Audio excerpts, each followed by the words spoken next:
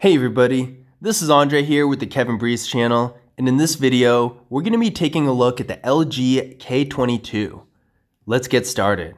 This phone has a 6.2 inch LCD display with a resolution of 720p, a PPI of 271, an aspect ratio of 19 by 9, and a screen to body ratio of 81.7%. We got a water drop notch here for the front facing camera, and this camera is 5 megapixels. I do have the brightness at 100%, and I'd say it looks pretty decent.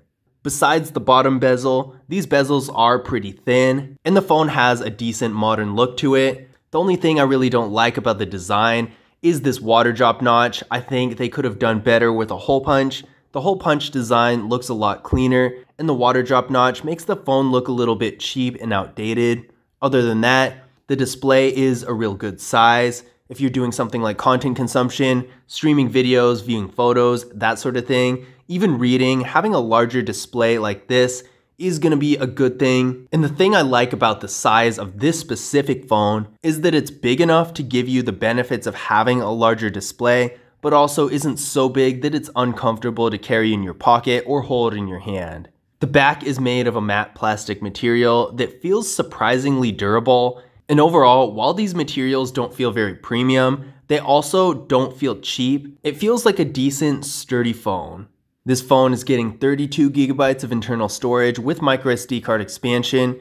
Considering that this is a really entry level phone, that's not bad at all. A lot of phones in this price range are only getting 16 gigabytes of internal storage, so this is for sure a step up from that. For the average user, you should be able to get away with 32 gigabytes completely fine, especially if you're a little bit mindful of what you're putting on the phone. But if you're more of a power user, if you have lots of apps, lots of photos and videos, which by the way, you can store those on a micro SD card, but not apps, you might want to look at a device that has 64 gigabytes of internal storage instead, because if you have a lot on the phone, it's probably going to be better to have a bit of a buffer. But again, for the average user, 32 should be acceptable. This phone has no wireless charging, and for security, it doesn't have face unlock or a fingerprint scanner, so you're gonna be using a PIN, a password, or a pattern. I'm not a big fan of this lack of features. I personally like a fingerprint scanner. Face unlock is good too, but having to actually type in a PIN every single time I unlock a phone is pretty annoying. So I definitely think this is a little bit of a drawback of this phone. Now taking a look at the rear cameras, we have a dual camera setup here with the 13 megapixel rear camera and a 2 megapixel macro camera. This phone also has no portrait mode. I think that's a little weird to have a macro camera but no portrait mode. I think compared to portrait mode, the macro camera is a little useless because I think the average user is more likely to use portrait mode than they are to use macro mode. Now for video, this phone can shoot in qualities up to 1080p. Now I'm gonna turn it over to Kevin to show you some photo and video samples from this phone. Like Andre mentioned a second ago, the camera experience with the LG K22 is extremely basic. It is disappointing and a bit surprising as well that there is no portrait mode, and while the macro camera does work, I don't really see where it has much of a purpose here. Now, I'll let you be the judge for the actual photo quality itself, but in general, it is pretty disappointing. But the biggest issue with this phone, and you'll see it in a second, is the video quality. While the actual image doesn't look too bad, the frame rates are not good and it's really laggy. I'm not sure if there's an issue with my specific unit or what, but the videos that I was able to take with this phone are really bad. I'll let you be the judge for yourself though. What's going on everyone? This is Kevin here, coming at you with a 1080p front-facing test video from the LG K22. Definitely curious to know what you think about both the image quality and audio quality from this video sample. And here's a 1080p video from the rear camera on the LG K22.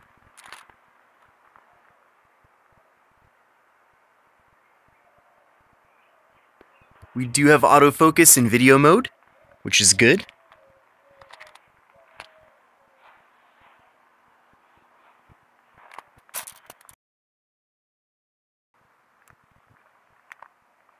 Internally, the LG K22 is getting 2 gigabytes of RAM with the Qualcomm Snapdragon 215 processor. We ran a Geekbench 5 benchmark test on this phone and it came back with a single core score of 100 and a multi-core score of 352. So this is not a very strong processor. If you're using the phone for basic activities like making calls, sending text messages, browsing the web, and maybe some light social media use, this should be fine. But if you're trying to do anything else, like playing games, editing photos and videos, consuming lots of content like streaming videos and that sort of thing, then you might run into some trouble because this processor is not going to be able to handle a whole lot. And with only 2 gigabytes of RAM, multitasking might be a little bit of a challenge as well. The battery of this phone is a bit on the smaller side with a 3000 mAh battery. It's not horrible, there's definitely worse. The iPhone 12, for example, has a 2815 mAh battery, which is a bit smaller than this one,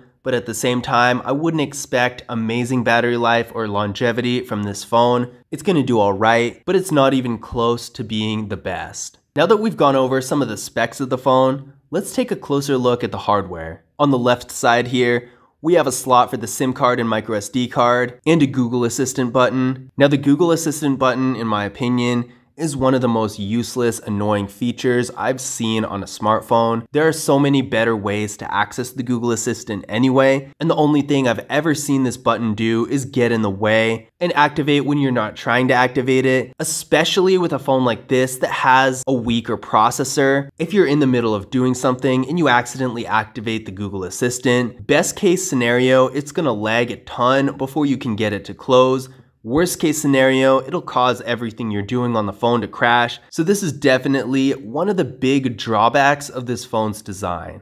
On the right side, we have our volume up key, our volume down key, and our power key. On the top of the phone, there's a 3.5 millimeter headphone jack. More and more manufacturers are doing away with headphone jacks, even with the lower end phones, so it's good to see that this phone still has one. On the bottom of the phone, we have our microphone and a micro USB charging port. On the back here, we have our camera setup and our flash and the speaker at the bottom here. There's also an LG logo right here as well.